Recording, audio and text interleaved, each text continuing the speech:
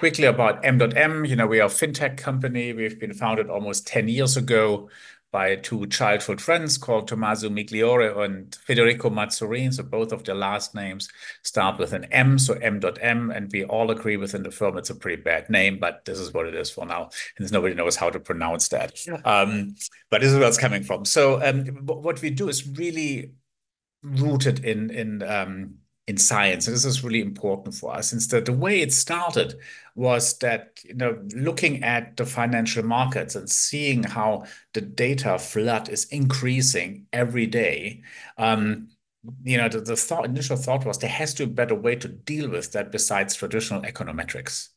Um, and so the question was, okay, what technology can be used to make sense out of this immense increased complexity of the market? And the answer was artificial intelligence. So it was not that the idea was, oh, let's do something AI. It was really the other way around. There was a problem in dealing with data, in um, coming up with good prediction for the financial markets. And then the answer was we could do that with uh, artificial intelligence. So the, the most people working for us are what you would expect um, data scientists physicists etc this this rooted in science has also then a different angle that we excuse me right at the beginning started the the the, the MDOTM lab which was a collaboration with several universities across Europe, but they have a dedic in each of them a dedicated professor and his or her master and PhD students supporting us.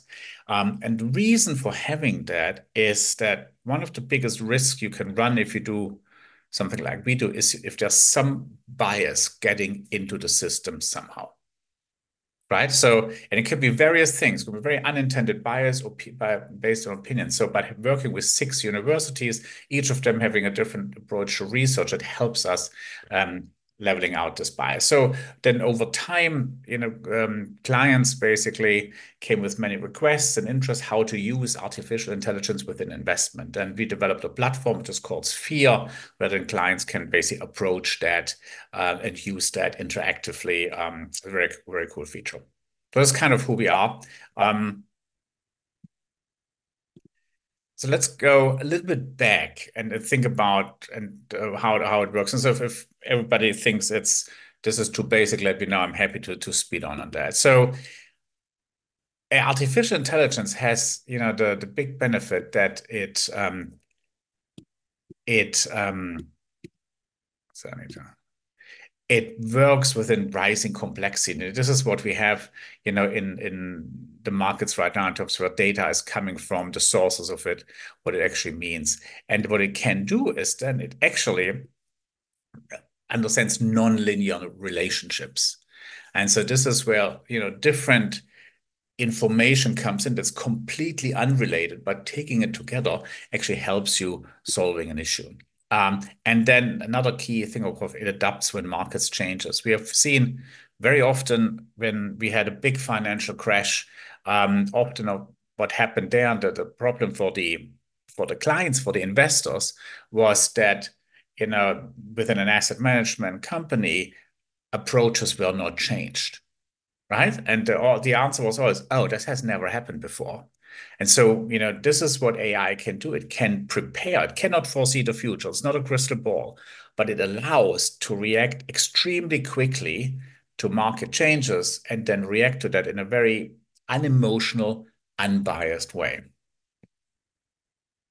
So the, the very key element to that is like what data is used. And so, you know, let's make that um, have this experience, you know, you come and you talk about AI and people are, you know, very excited to hear about it since it's, it's a topic that everybody talks about.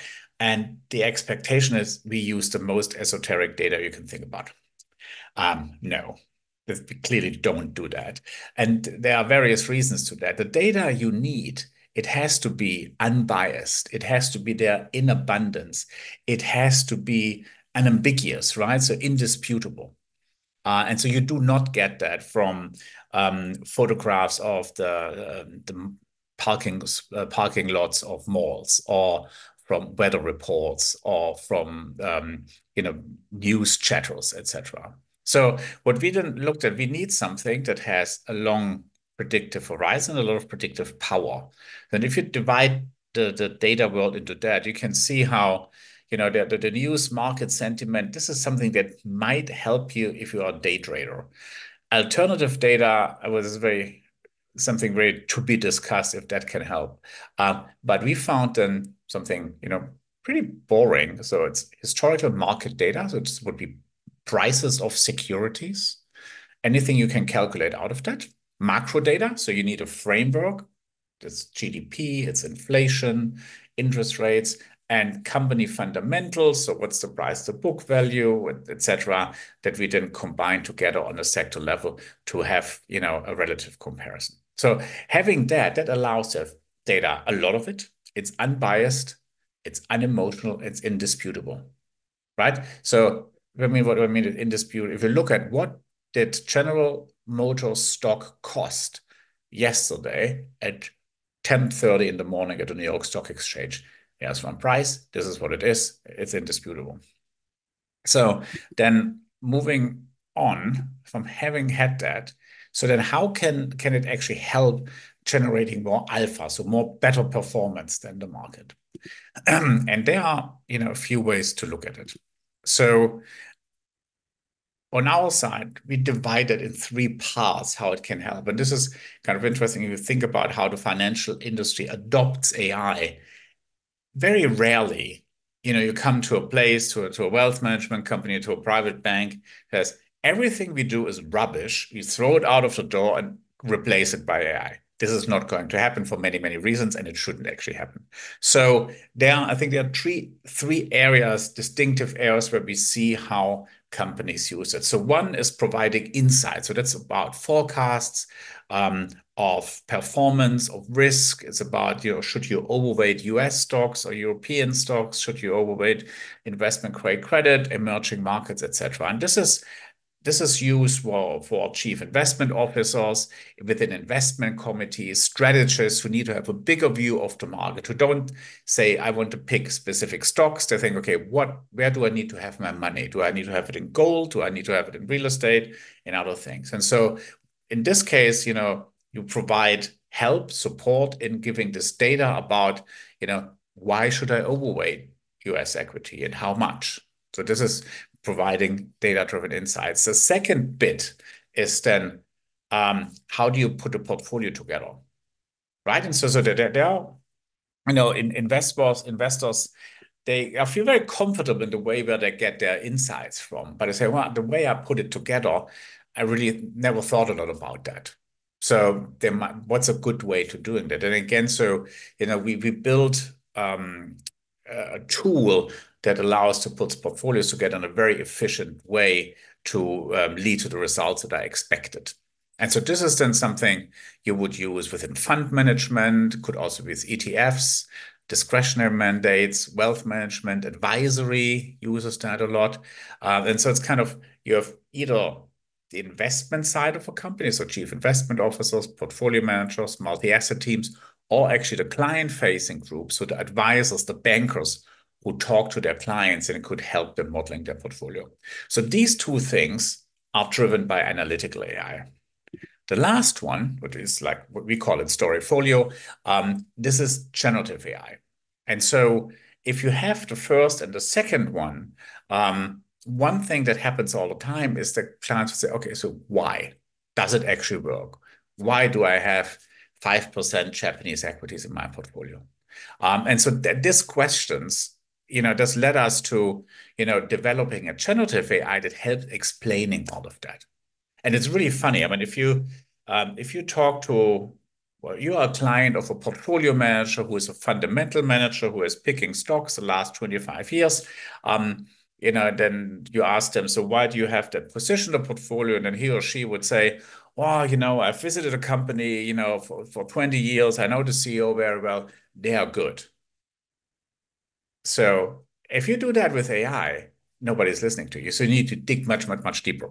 And so this is why we developed a generative AI to ex helps explaining these positions. And within Storyfolio, this is then where this all comes together and allows mass customization at scale. That's what I what I said um, at the beginning that you know looking at some of the EU directives that require um, more uh, bespoke services.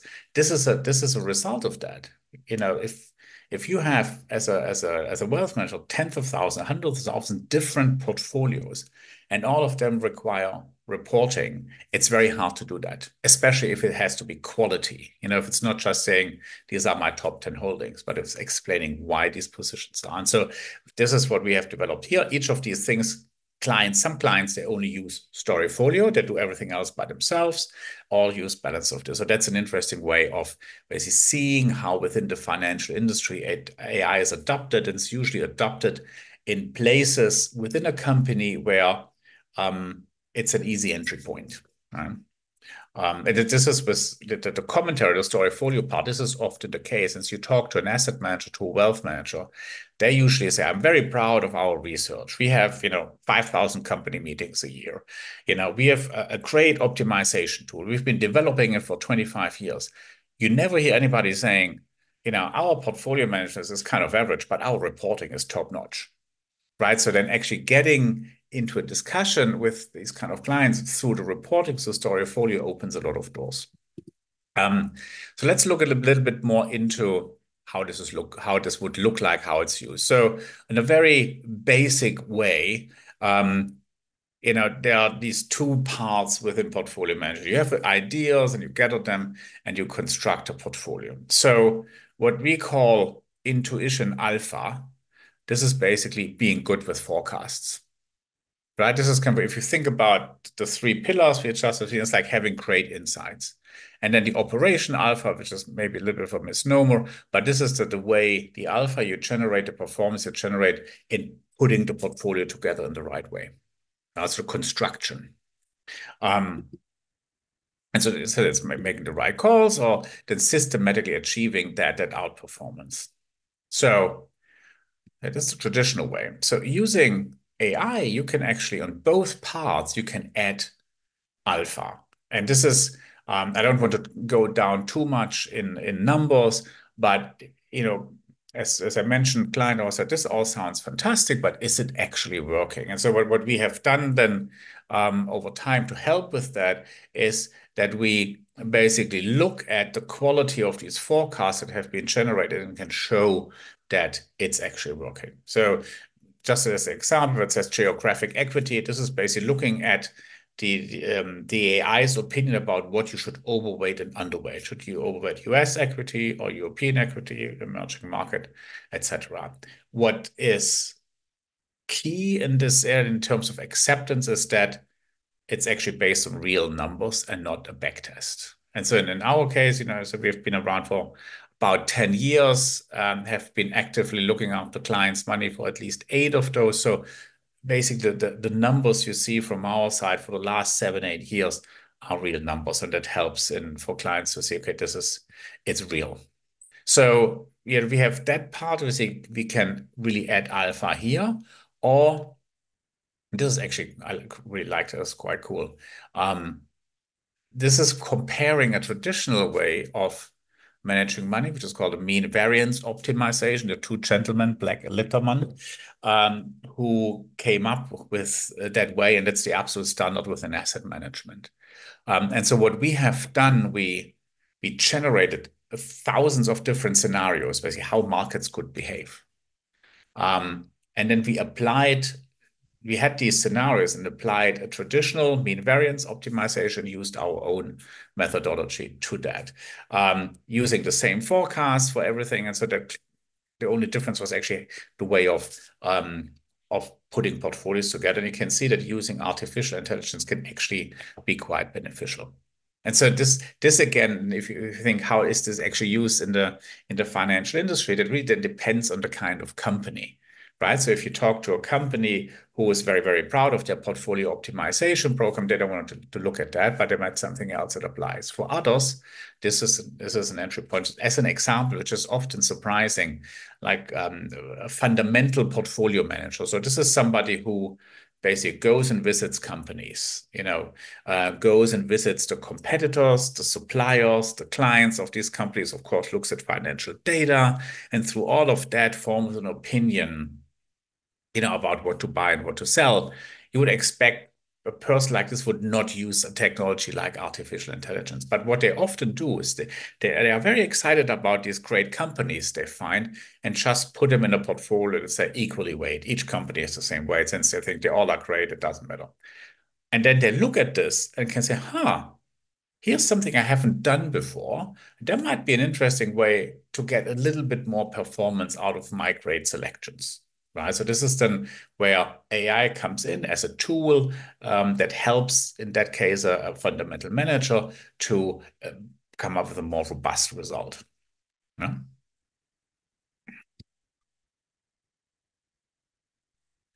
So, you know, this is you know, the point here to make is just that, you know, there's a way in in delivering alpha to helping um, financial institutions to come up with a more robust, um, solid process that helps them to have you know decent performance in unexpected market circumstances. And this is, I think, where AI is the greatest help. Greatest, sorry, is the is the greatest help.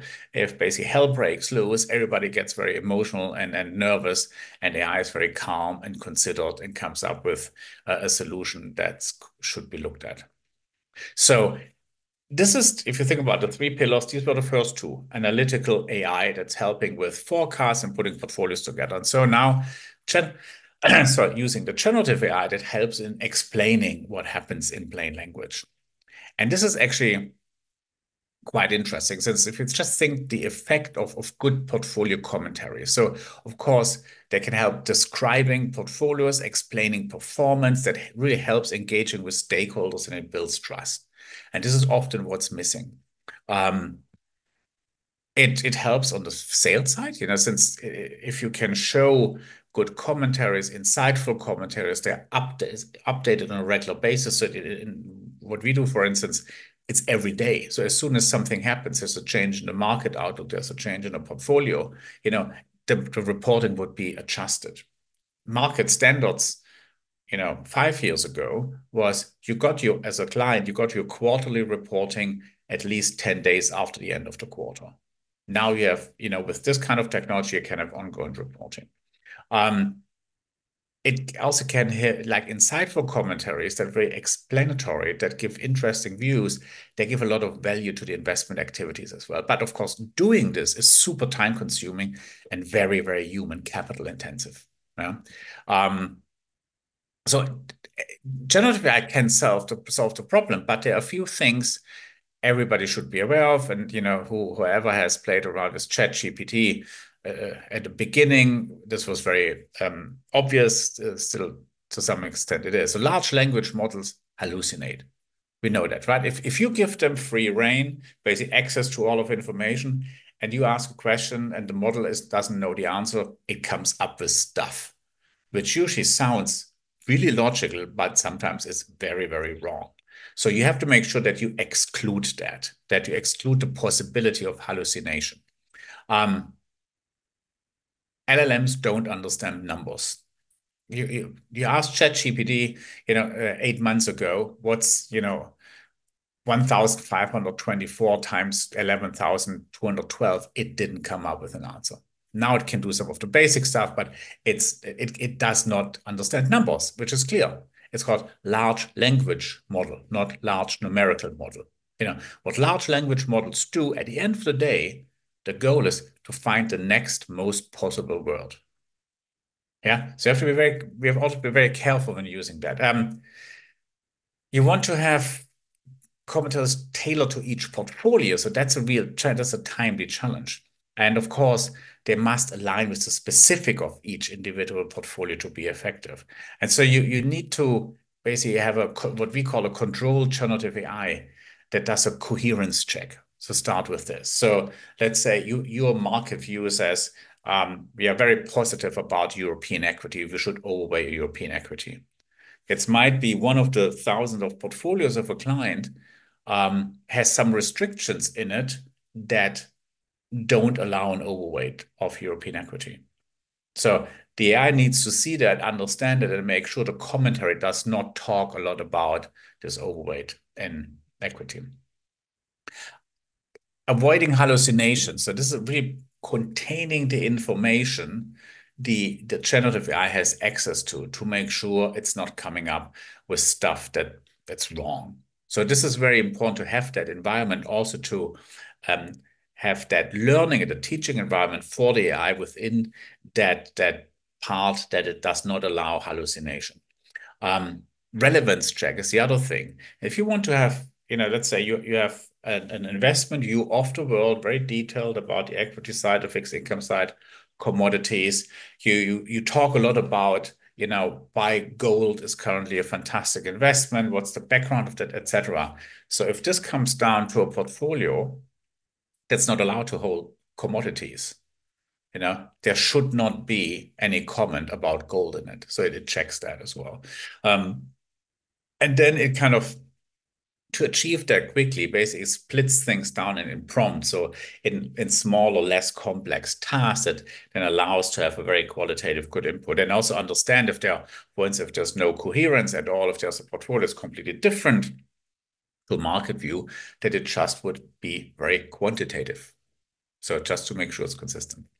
Um, and then to the last bit of course you know, personalization through the style language should be used etc um, so that's a, that's an, an interesting then what what it does is really this is coming to my last point about also a bit of the role of humans. So you know the humans would provide the their or can provide their view of the market. They would say this is how the portfolio looks like. This is our constraints and preferences for the model portfolio. So it's real. It's like working together. Um, you know, we look at it as like machine delivers and the human surprises it's about creativity. It's about you know being quirky, being uh, being kind of interesting. So again, if we start with this little picture, um, and then you can see how this can help. So you know investors have an idea about in what direction markets could go. They can get support through AI that they get, okay, what is the expected return generated by AI? How does this differ from a technical analysis, from a fundamental analysis, from an expert panel? Um, then using that, you know, leading to portfolio construction, to a better, more robust portfolio construction uh, that then can be, you know, led into customized portfolios, dynamic risk targets, etc. And then through that, you have improved and more stable performance, and it basically goes all around. So in that process, the artificial intelligence does really the heavy lifting. So it analyzes all this data. It looks at these, you know, nonlinear connections to find that which in theory humans could do, but of course, you know, based on the mass of, of data and the possibilities of connections, it uh, it would fail doing that. Um, but it's always the human who remains at the center of every decision. I think this is the important thing that AI is a fantastic tool. It needs to be used properly, but it's really fantastic. So will AI replace us? No, but somebody who's using it definitely will. Um, this is what one of our clients said, which I think is it's, it's a great quote. Adopting AI in our investment process has given us an augmented humanity to make better informed investment decisions.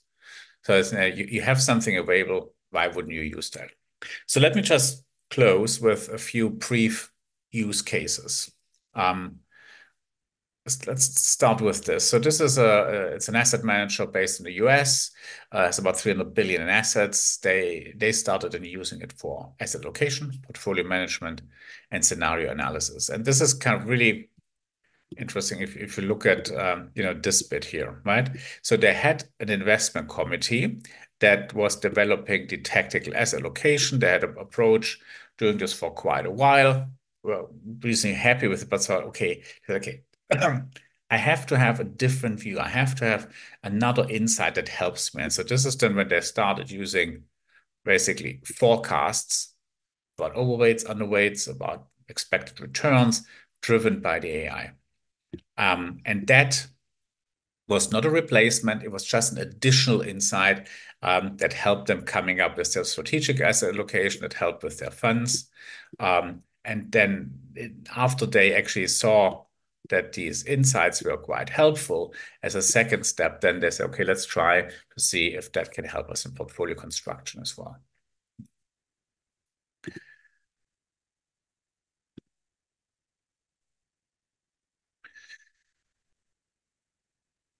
Okay. Um, so that was a, this is was quite interesting. Um, was a large insurance company. Um, this is like the the dream case for every AI provider. He was an insurance company, um, as you know, mainly life driven. That means there are a lot of regulations about what they're allowed to do. The majority of the assets have to be in very safe fixed income securities, well, the, the general account assets that has to be matched with the liabilities. And there's a little bit like a surplus account, but this is where they try to generate excess return. This is where they are allowed to use equities and, and, and other asset classes. Um, so what they initially wanted is a better control on the allocation within the general account in, in uh, connection to the uh, to the surplus account. Um, they thought about doing this, and um, they also wanted to get more of the, equity investments in-house. They had outsourced that to third-party managers. They want to get in-house to have more control over them being more flexible. Um, in case liabilities change, they have to do something about it. They initially um, budgeted about a two two year process for that and about 3 million euros to implement it. The whole thing has taken about four months, and I have to say we didn't get $3 million for it, but it's an interesting way for them to see. And so they also started with, you know, having um, expected returns. They look at market regime. So that's a, a, certain way of looking at risk that helped for their strategic asset allocation. Then they used, you know, at the end, some tactical indicators that helped them tweaking the portfolio. And as a as almost as a side, they um, took most of their equity portfolios back in-house and basically use Sphere to manage equity portfolios. It's like a couple of hundred million they do there. So a, you see that there are pieces and bits um, where th this was, you know, basically a change of the investment policy, putting stuff in house. This was getting better um, asset allocation through additional insights. So it's like putting things together. It's not replacing everything. It's just finding areas where that helps. So last one. And this was then more from a wealth management company where it's the issue, okay, we have a few model portfolios but we at the end of the day we need to create you know thousands of individual portfolios. And this is where they very could very easily do that so having you know the investment committee views and ai view. They put that together. It all gets into a sphere. They have their model portfolios with requirements and then the ai can provide literally hundreds or thousands of different portfolios for them including customized reporting so you can see that different ways of using it for an insurance company. Reporting is not relevant.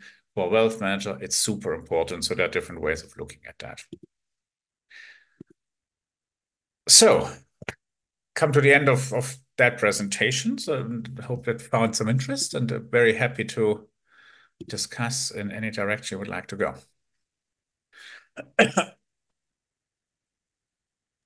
I read recently a summary of a BCG, Boston Consulting Group report that said um, something you touched on in, in, investment banking used to recruit, used, used to sort of do the milk round and used to sort of hoover bright graduates out of universities and pour them into the, the bottom of a funnel where they spent their first two, two and a half years basically just churning data and, and reports.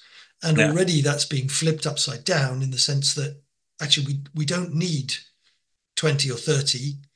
We might need four or five. Hmm. And they need to be more AI literate and they need to be good at actually prompt generation and analyzing the analysis rather than generating generating the reports, and that that's going to be a sort of fundamental change. Yeah. To to, yeah. to the industry. Um, do you see that con- continuing, and and where's the, where's the end point for that? Yeah, I mean, it's the, the one kind of really part of what you say is also the fact that. you know, when, when, when we started MDOTM 10 years ago, artificial intelligence was something for the, the tech connoisseur right? Something you you enjoy it after hours, kind of thing. Um, and of course, often the people who used AI, they, they built the models as well. And so, but what we have seen really in the last three years or so, that what you say, the difference, people don't have to be completely AI experts, they have to be AI literate. And so we, we definitely see see that as well. And it's what I think where, where it goes to is that companies have to understand how they should adopt AI. And it's it's a very you know, it's a very important process how to do that. Um, I still see a lot of companies saying, "Oh, we use AI. We hire two people from university. They're doing AI now." This is not going to happen. And you know, there are companies where AI can help at the fringes, and for others at the center. And so, this is where where this is going to. That AI is becoming a stable in company, but the companies have to decide where does it actually help. And this is then also where the talent will go right? Where talent mm. is appreciated. on the, on the topic of talent. Yeah. So, so can yeah. I just add, add one, one aspect to that? So what I, mm. I also found an interesting observation. So this is for many having AI within their investment process, it's to some extent a radical change. It has to be driven from the top. If the top management is not approving that, it's not going to happen often, and this is I, I, I, can say that I'm old enough to say this. So often, you know, they did people like with gray hair and and you know that have been in the business for 30 years have to make these decisions, and for them it's hardest to understand the technology. So that's an interesting juxtaposition.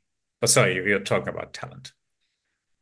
Yeah, the uh, the salaries for for AI talent in Silicon Valley and elsewhere are, of course, astronomical. Um, but there's rumors that uh, Silicon Valley is losing some of its top talent to finance um, in the in the back alleys. Uh, finance people are are coming in and, and throwing people into unmarked vans and taking them to make uh, more money in different places.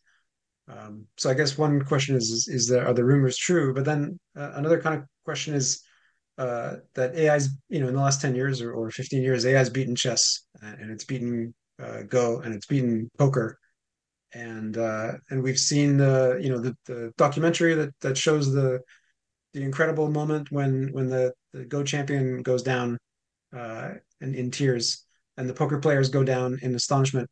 Yeah. Um, has AI beaten the stock market? Or when are we going to see the the documentary that that shows the the so, stockroom floor with the tears? Yeah. yeah, I love that question. I love that question since it highlights a lot of things. So let, let's start with your initial comment about talent going from Silicon Valley into finance. Um, first of all, the, the demand for AI talent within finance is much younger than the demand of AI within technology. Right. So that sense, I think this is really, I mean, for, for my observation, what was a crucial point for many companies to really think seriously about AI was kind of ChatGPT coming out. So that is much newer that people need to take it seriously. Um, the, the appeal, I mean, if you think about everybody was going, every AI expert was going to Silicon Valley. What a tough competition, right? The smartest of the smartest compete with each other. So if you didn't move into finance, you're the smartest. So that couldn't be appealing that suddenly more people are listening to you, have more impact. It's just, just an, a thought, right? Um, but that to, to your comment on, on on that side, Harold. Then the other one about uh, you know beating the master of Go or um, you know Deep Blue a couple of years ago, and then chess. Um, and when does it beat the, um, the stock market? I mean, as we know that you know the the board game of Go is exponentially more complex than chess in terms of what you can do. Um, but it's still it's a limited frame of rules yeah, there are a limited number of stones you can use. Um, it is there. There's a lim There's a clear defined option what you can do, right? After every, you know, your opponents put out a stone. There's a limited option of what you can do. It's and you can calculate that. In the stock market or the financial markets, it's much wider about what can happen you know, I would say there are no rules what about what can happen. Yeah. Is there a natural disaster? Is there like a political issue? Is there whatever? You know, that's the central bank doing something unsurprising, uh, unexpected. So this is so much more complex. I think to have a way of consistently beating the market, it will be a while. Since there are just too many variables involved that predict that. So when you say there's there's alpha in the AI, um, you can't. There's no numbers on that yet. It's just is it a how do you no, how are you? It, it is. I mean, this is what kind of what I showed. There were numbers on it. This was alpha generated through using the AI. Right. So you you can see that if you if you look at the two optimization possibilities, right? Um, let me show that again. Is that is that not in in some sense beating the market, or is it not beating the market? I'm not. No, it, it is. It is. Um, oops. It is beating the market. It's it's also beating others. Okay. Um, beating the humans, I guess. yeah. So I thought that was a smarter way of doing this.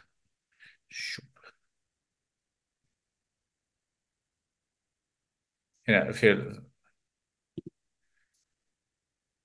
here.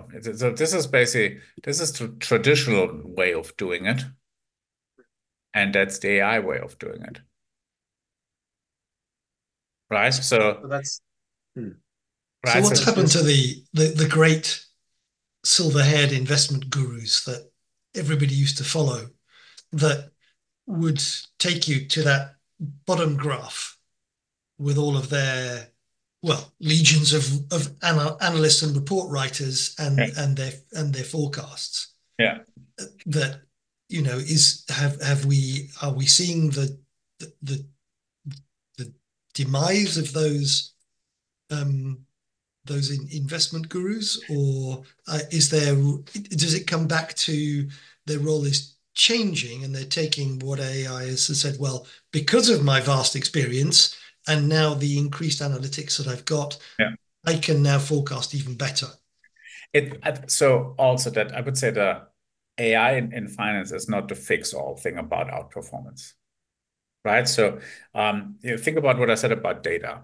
It needs to we need to have a lot of data that has to be reliable, has to be accurate, unbiased, you know, undisputed, etc. So there are financial markets you don't have that you know, private equity, private debt. You know, you only get a price for private equity actually when you execute. And so you get a real price every couple of years. So using AI in that context for prediction, for risk, is not possible. Um, things like, like Asian small caps, again, there's not the right data. So there are ways, there are areas within the investment universe where the AI, the way we use it to predict or to help putting portfolios together and you make prediction about risk and return, you just don't have the, the, the basic ingredients to it. If you look at more efficient markets, this is where AI is strong. This is where you have a lot of this data. This is where you have to find these connections, right? And so this and this is also where I think what AI is, is doing is, at least the way we use it, it's trying to come up with a portfolio that's most suitable for any change in the market. Right? So if you if you would just look back and say, okay, the, the last couple of crises we had, COVID, um, you know, the the uh, CDO crash, tech crash, and you also go back and with and you think, oh, I have a situation now that's very similar to the tech bubble bursting. Let's do what I should have done 20 years back this is not going to help you now since it's going to be a different crisis. And so the, the way the AI works is space is trying to understand the properties of the market and not to repeat it. Right. And so this is a very long-winded answer, but uh, basically there are areas in the market where the AI will provide superior results. And there are other areas in the market where AI just can't help yet. And, and Harold, presumably there are some very clear legal parallels in that using firms that start to use AI for analysis of precedent and previous results and previous contract drafting will come up with uh, potentially some, and I think you've said this yourself, you know, some new sort of some nuances, some new ways of doing things by aggregating all that information and spitting it out and saying, look, here it is. And there are some areas where actually it's it's not going to be helpful and you need that human interface. And even jurisdiction by jurisdiction, uh, we find uh, Americans are much more um, happy with uh, vast amounts of data and vast amounts of uh, predictive precedents and stuff. Whereas uh, here in Japan, it's very ad hoc uh, and low data. So we might be we might be safe from the machine takeover for a little bit longer in Asia. Um, we yeah. have a lot of actually. You know, did, did you want to speak to the, the beauty of Asia and its investment climate? Yes, yeah, so, so I, I've lived in Asia for many years, um, in Singapore and in Hong Kong, and traveled for my job to Japan almost every month. Um, and outside, the whole the society is very tech affine, right? They like their gadgets, they like to use technology, they like apps and all of this. It's kind of interesting to hear what you say that within the professional world, it's it's not the case at all. Whereas the you know the society as a whole uses a lot of tech. A lot of concrete tech, a lot of uh, like to say gadgets, but very little uh, abstraction in in software and um, that kind of thing. Yeah, it's a very yeah very different perpendicular kind of division that we would normally have. Yeah, interesting. Uh, a technical question. We we came in with a lot of kind of legal questions about um, how you manage regulatory challenges, which you may or may not have insight into, but um, just in the technical side. So you, you've been doing this since around 2020 so I, I assume that you sort of started with a symbolic AI approaches, which is where the investment insights and the portfolio rebalancing uh, gets its uh, AI name and its AI juice. And then did and then you added did you add the uh, the, the portfolio storyfolio aspect yeah around the generative AI boom in 2022 2023? Uh, yeah, so I so we started about 10 years ago. So the analytical part is about 10 years. Also, it started 10 years, was just continued, uh, developed and improved. Um, and this was all analytical AI. And then, but what what we found when we also started the Sphere with that platform, that people demanded more explanation. Yeah, so why I have to say I don't want to have a black box. I need to understand why we overweight US equity. And so what we then started doing, we started developing generative AI to help explaining that. And this was actually before the big chat GPT bubble came out, so that we started looking into that. That kind of then accelerated it. Um, and then it's also when we basically started using that for Storyfolio for the commentaries. But it was really then to to have a, a way, have an uh, efficient way to turn the, the analytical information we have in in context and put that in words. And the control aspect of that is that RLHF or how how is that how is it controlled on the on the back end? Um, so you mean that the text that comes out is actually correct? Yeah, when you're saying that, like, uh, if if you don't want uh, heavyweight European stocks, it pushes it in one direction, or yeah. Um, so th there's a part of the company we have is called mission control, um, and they part of this is what they do is like quality control to say is it does it make sense they, they will not change it right so um, they will not change the output. If they think there's inconsistency we have to go back to the drawing board so there must have been a problem in the architecture of the AI but they will consistently will consistently observe to make sure it, it's it's logical what comes out. It's what the system is supposed to do what AI is supposed to do and that would be the quality control. So on the legal side, um, the big question is just regulatory challenges. What what kind of regulatory challenges are you facing? Um, so of course we you know we we, see how regulation develops. The, the EU is coming out with the AI Act. Um, that also applies to financial industry where uh, you know at least financial services would fall in the part where you do your self-assessment about about it. But uh, so we followed very closely. So far, you know, we always were on a level where it's not considered to be regulated, since it's it's an input that's used. Uh, it doesn't make decisions that are automatically implemented. Um, but you know, it's it's evolving in such a fast pace that the legal environment as well. So for us, it's always to make sure we we stay on top of that. But you know, we it's not managing a portfolio. It's it's providing insights. It's a tool that's used. Um, so so far, you know, we are in a situation due to the way we offer the solutions that we don't have to be regulated. We we are for the, in the UK we are regulated, but this is you know by choice, not that we have to. Harold, and maybe Dallas and Samuel as well. Um, I'm a client. I've been a client of lawyers in the past, and one of the challenges I've experienced as a client when a legal team has come in, external counsel has come in and presented me with contract revisions is an immediate deep dive into the legal technical aspects, into subclause, blah, blah, blah, you know, uh, okay, great, and and the and the, the need for this and why it's been rewritten and so forth, and much less of the executive summary that actually I, as a client, would find really helpful, and I see as good lawyering. Somebody who comes in understands the business imperative for the risk mitigation that's gone on or for, or for the structuring of something but that's not in that's not the way that the legal teams have engaged with me. Now maybe i've i've clearly been using the wrong lawyers all of these years. Um, do you see a storyfolio equivalent for law firms in future? You, the use of ai to uh, sort of extrapolate changes to a contract and communicate that to a client? Or does that just come down to actually you need to use better lawyers, Keith?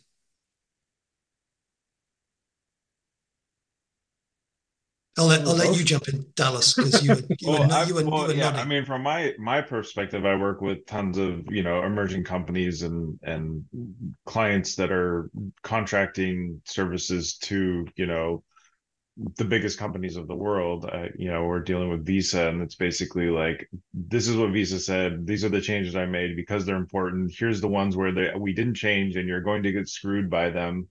Um, but we know they'll never accept the change here and we do give like the business kind of thing just simply maybe because of the types of clients that we represent where you know they know that they're not they don't have a bunch of negotiating power. So it is primarily, hey, this is what we change. This is why we change it. This is why this is important.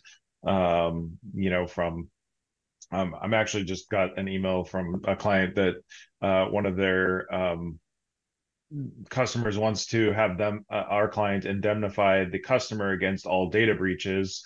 And we're like, well, what if it's your user that got compromised and let this in? Like, we can't, you know. So it's the executive summary of that is, you know. So and and again, I've used now you, I think we've talked about this in this group, but I've used um, probably I have paid versions of Claude and uh, GPT, uh, OpenAI, and I use that for the summaries and for the plain stuff. No, no contracts yet. Um, I've been arguing with all the service providers about the fact that they train their AI with everything I put in, and as a California lawyer, that's an ethical violation. I can't do that.